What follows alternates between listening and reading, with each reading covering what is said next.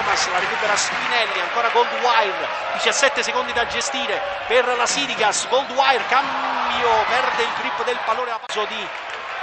Aciara che innesca Lakovic, la palla per Ace, stoppato però da Magro, si lotta a